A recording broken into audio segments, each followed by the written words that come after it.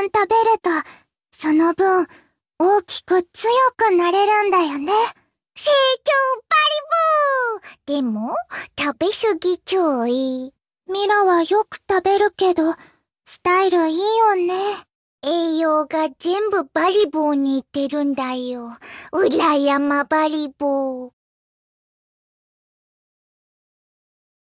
今日の宿は、どんな部屋割りでしょう？同じ部屋の人とは、たくさんおしゃべりできて、仲良くなれるから、とっても楽しみです。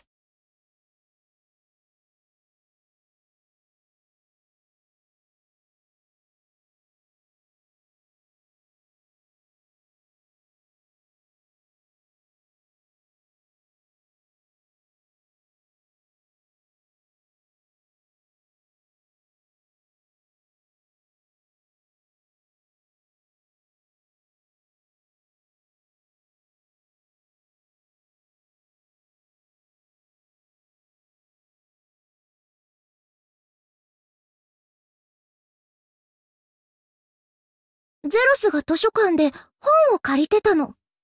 インテリな男のモテアイテムなんだって。だからね、私もたくさん本貸してあげようと思うんだ。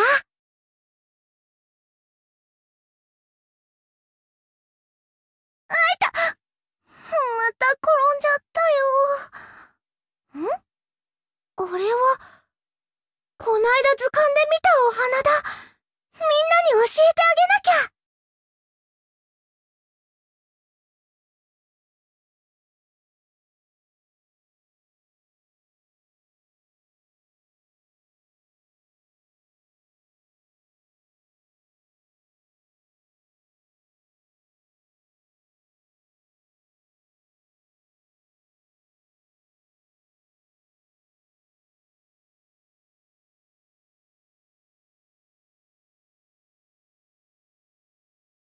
俺の右手のあざは、父さんのと同じところにあるんだ。だから俺も絶対に英雄になってみせるよ旅に出る前におやつ買っていこうよバナナっておやつに入るかな ?300 ガルドまでしか持っていけないから、おやつじゃないってことにしよう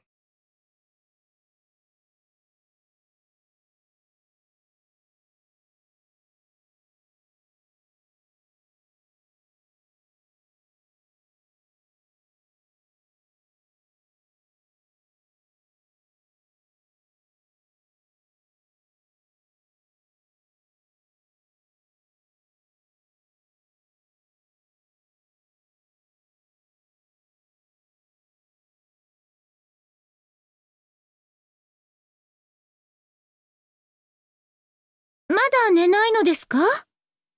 あ、もし眠れないようでしたら、一緒にお茶を飲みながらお話ししませんか？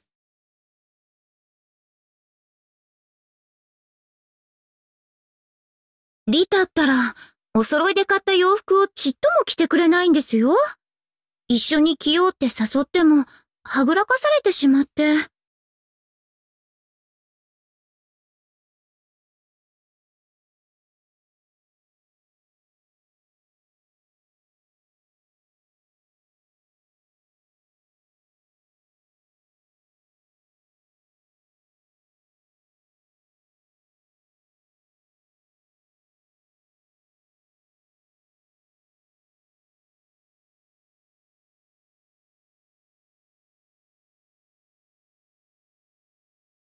昔のこと？あんまり気分のいい話じゃないよ。そうだ。じゃああんたの話も聞かせてよ。今夜はお互いの身の上話ってのも悪くないでしょ？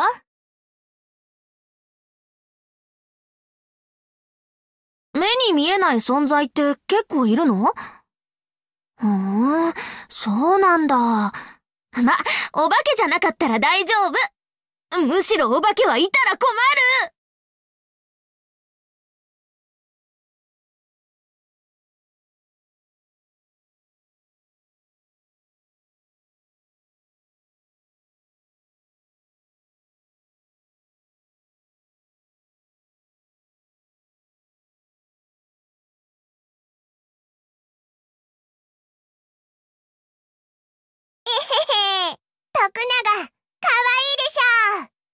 かも大きくなって戦えるとか無敵じゃん。オラオラアニスちゃんと徳永の前に敵はない。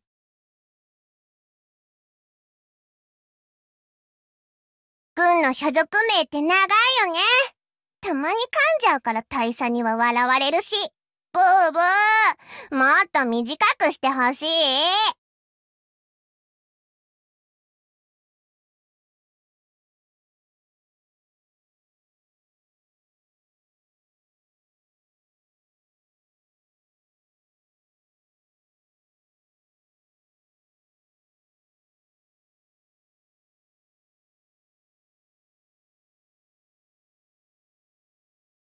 時々、私の髪飾りに蝶が止まるんです。もしかして、本物のお花だと勘違いしているんでしょうか？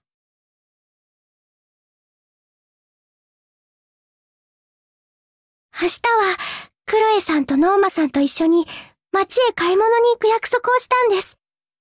三人だけでお出かけするのは初めてなので、今から楽しみです。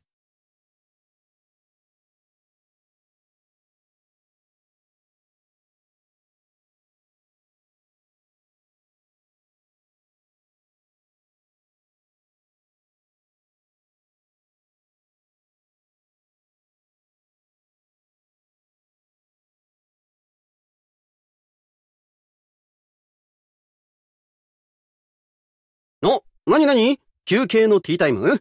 おっさんも混ぜてちょうだい。いやー、働いた後の一杯は格別ですな。うわーくさいくしゃみ一回ってのはいい噂だっけ？ね おっさんのいい噂してくれてる女性は誰かな？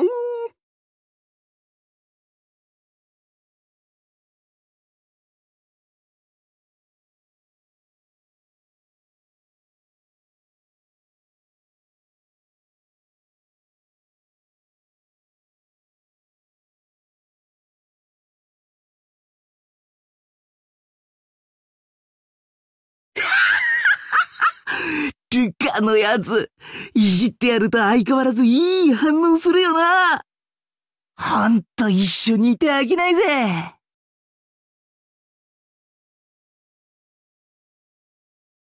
下町のダチから服を着崩すやり方を教えてもらったんだ。どうだ？結構いけてんだろ。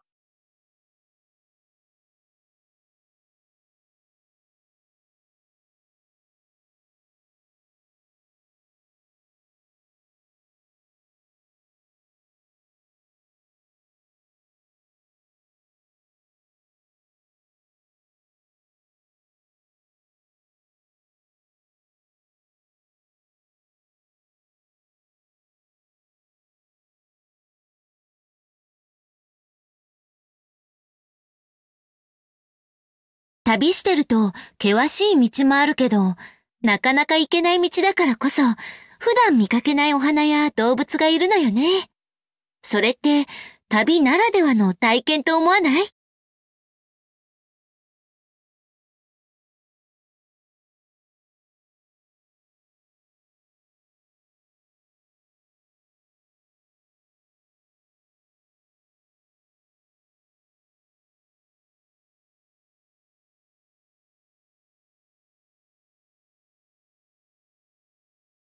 みんなでお買い物も楽しいわね。あら？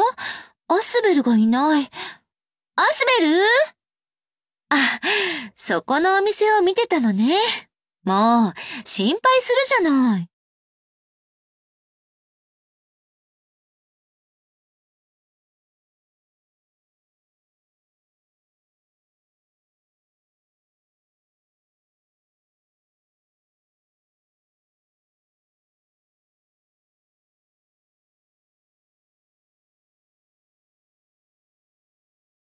エミルったら、気弱なところもあるから、私がエミルを守るナイトになっちゃうかも、なんて思ったこともあったんだよ。もちろん今でも、エミルが危ない時は、私が守るからね。美味しいご飯を作る秘訣は、味見をすること。たったその一手間で美味しい料理ができるんだから、料理って不思議。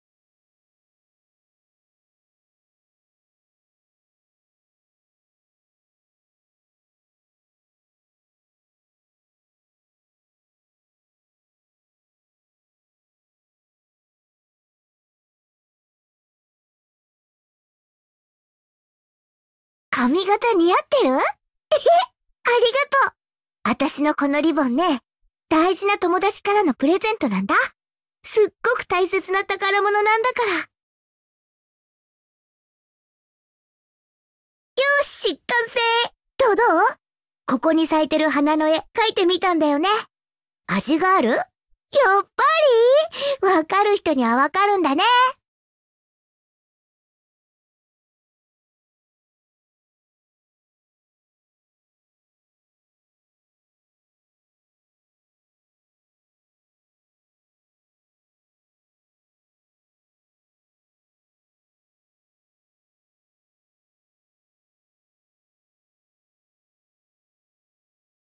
俺の時計？見せてもいいけど、大切なものだから壊さないでくれよ。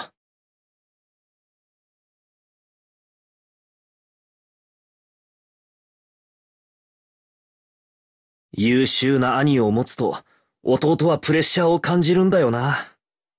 なんてな。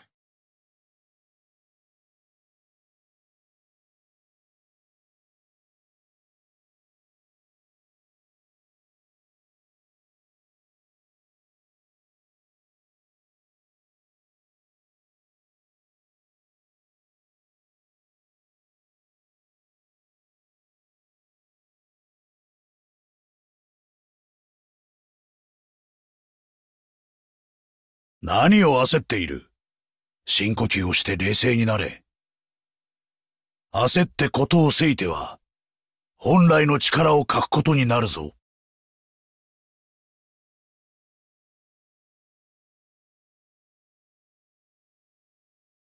傭兵をしていれば、それなりに情報は入ってくる。もちろん、世界に起こっている異変の話もな。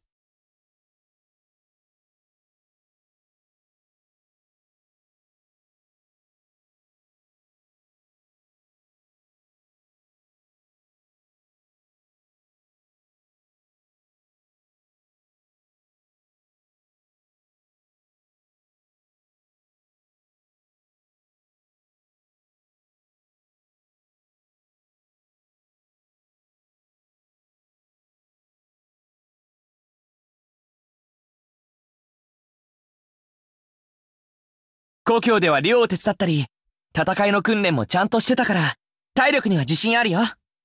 だから、じゃんじゃん俺のこと頼りにしてくれると嬉しいな。っ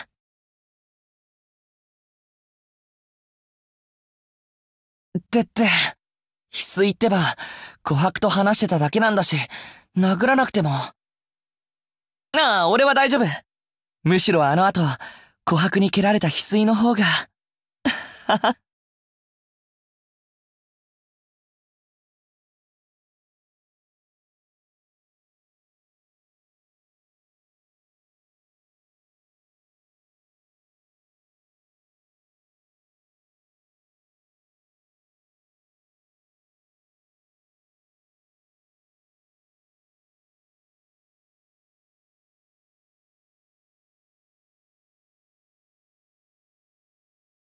船では飲み水がなくならないように常に気を配れ。暑い時は特にな。どんなに喉が渇いても海水を飲むわけにはいかないからな。地の精霊は泳ぐのが得意じゃない。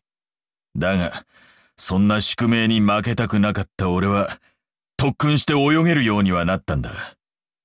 浮き輪は手放せないがな。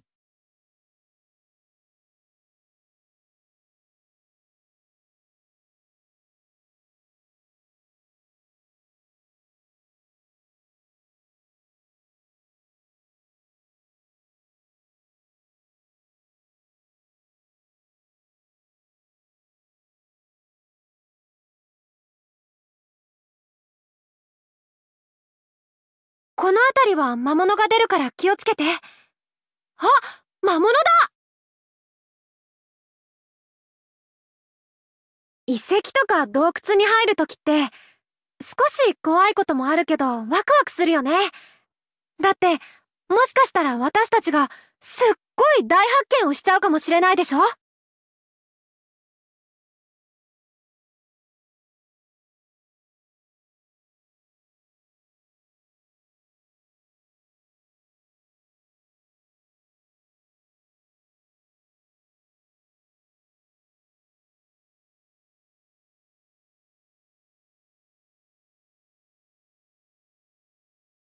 水にぷかぷか浮いていると、気持ちがいいわね。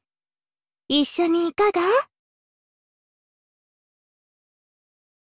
波って面白いわね。行ったり来たり、行ったり来たり。ずっと眺めていられそう。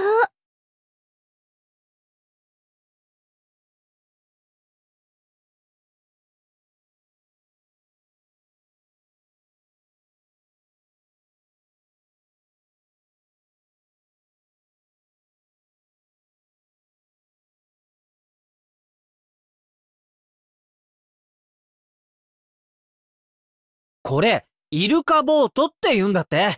バランスを取るのは少し難しいけど、波に乗って海の上を進むとすごく楽しいよ。みんなでスイカ割りをしようと思ったんだけど、さすがに買いすぎかな。よし余ったらミクリオにデザートを作ってもらおう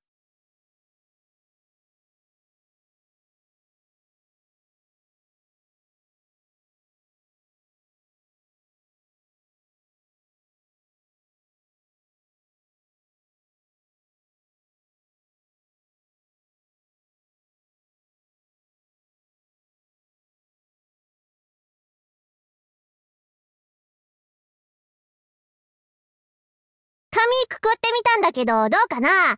似合う？気に入ってくれたなら、普段もやっちゃおっかな。どう？あたしの、み、ず、き、セクシーでしょ？うふん。どうして目をそらすのさ？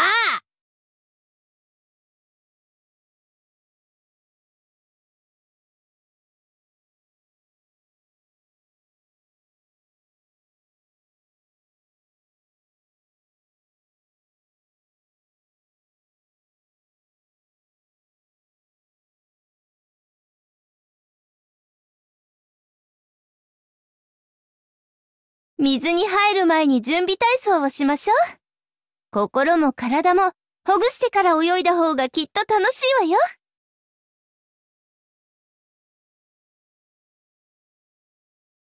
泳ぎで勝負？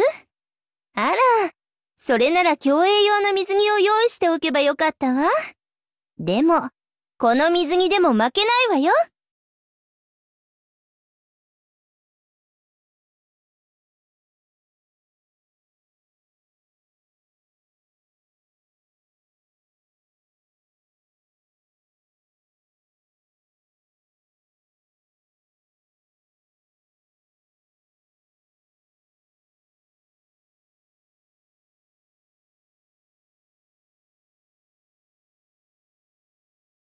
怪談話？やることがあるから、私は遠慮するわ。ほ、ほ、本当に用事があるから、ごめんなさい。顔色が悪そうだけど、大丈夫？暑い時は特に、こまめに水分補給した方がいいわよ。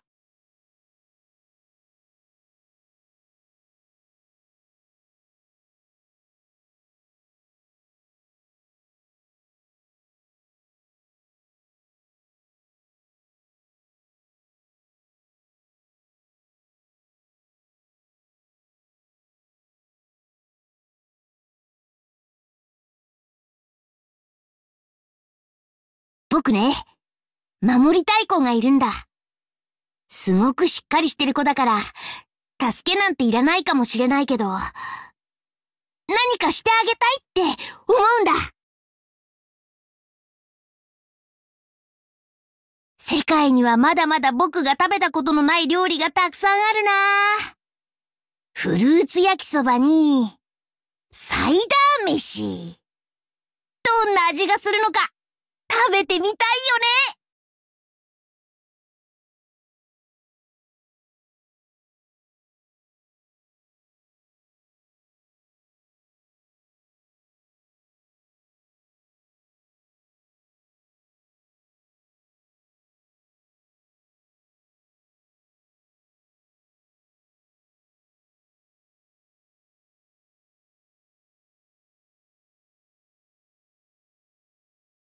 うーん、イベントか。なんか楽しそうだね。ねえねえ、ちょっと行ってみない？いいじゃん、ほら、少しくらい。昔住んでたところが森の中だったから、自然の中にいると元気が出てくるんだ。木漏れ日がキラキラして綺麗な時は、ほんと気持ちいいんだよね。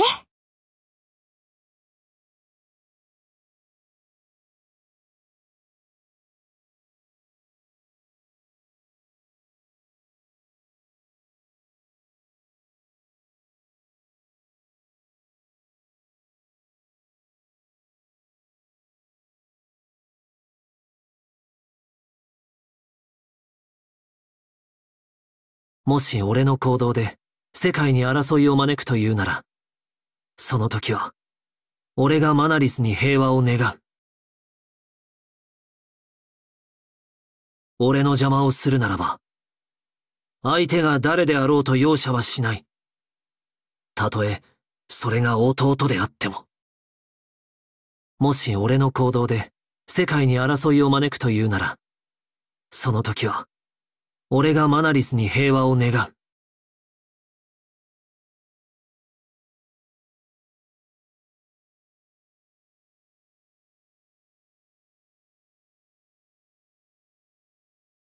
サフィアもマナリスも、使われるために生み出されたものなんでしょう。なら、もっと有効活用するべきだわ。願いを叶えるためなら、体への負担ぐらいどうってことないわ。天族である私の役目だもの。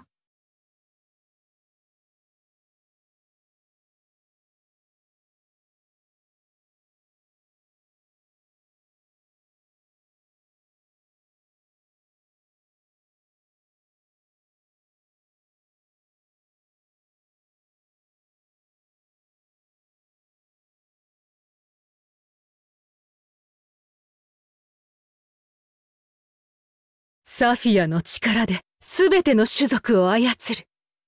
そうすることで、私はこの世界の神となるのです代償を恐れ、使われない技術など、存在していないのと同じです。技術とは、使われてこそ進化を発揮するもの。なぜそれがわからないのです？